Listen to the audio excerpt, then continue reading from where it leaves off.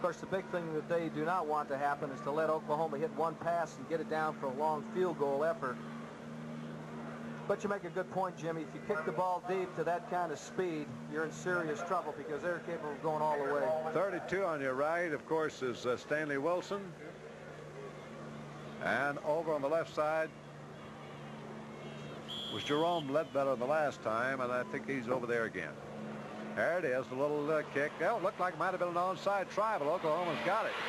Oh, he gets away. West Virginia recovers at the 33 with 10 seconds to go.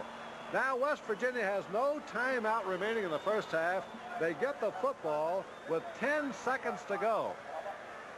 Well, would, they could get it out of bounds in close serve and try for a, for a field goal. Well, they do have their quarterback in the game. Here's another look at the little bump kick. That's one of the toughest ones off the uh, artificial turf. West Virginia's hustling. Everything is going their way now. They'd have to throw a quick sideline pattern, Jim. And uh, if they were able to hit one down around the 25-yard line, it'd give their kicker Woodside another shot. 10 seconds, if you throw about a 10-yard out, you're in good shape, and you do have the uh, time left to kick a field goal. Yeah, the option, of course, is go for the end zone, go for everything. And that's what he's going to go, down the end zone. And it is touchdown. Can you believe that? It what an effort. caught down there by Daryl Miller, who makes another great catch for West Virginia. And West Virginia has gone ahead of Oklahoma, a stunned Sooner team here in the dying moments of the first half. Jimmy Rockford must have been thinking the same thing I was thinking. They'd throw an out pattern because he came up to the line of scrimmage and that isn't what was going to go on. They just uh, went with a straight fly pattern as Hostetler moved to his right a couple of steps to take the defense with him.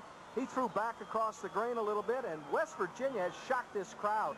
And now will West Virginia go for two and try to make it a seven-point lead at 21 to 14? What would you do, Irv? I would just go for the one. A lot of football left to be played here, right. Jim, but what the heck? What do I know? That's what's going to be. Woodside is in to try for the kick to try to make it 20 to 14. West Virginia has shocked Oklahoma in the second quarter.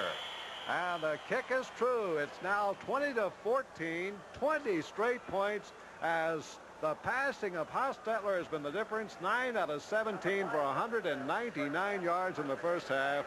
Only seconds to go in the first half. Five